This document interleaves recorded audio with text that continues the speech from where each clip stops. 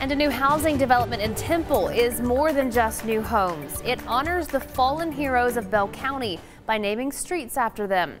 6 News reporter Barry Roy has the story of one of those heroes, Louis Qualls, killed in action almost 16 years ago. In the weeds of a new housing development beginning to spring to life, there's a narrow road that carries a name. I asked him what was wrong, and, and all he could say is, We lost Louis.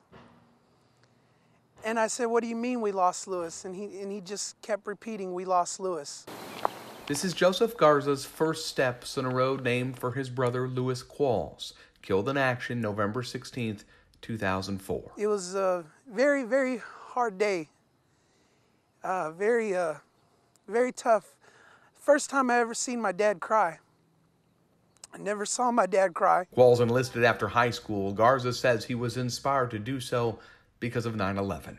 He was very, like, very adamant about wanting to to take action and and and and wanting to uh, to be a part of something and do something to prevent this from ever happening again. It's what we do in Central Texas, and so excited to be part of it. John Houston Holmes says the developer was approached by veteran groups to name streets after fallen heroes, a tribute they couldn't pass up.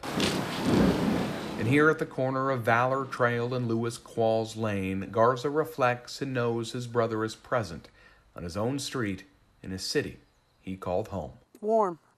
Feels warm. And I know that he's here. He's right here with us right now. In Temple, Barry Roy, 6 News. Ah, beautiful story. Now, there are going to be 70 homes in Valor Estates. A total of four streets have been named in honor of Bell County heroes.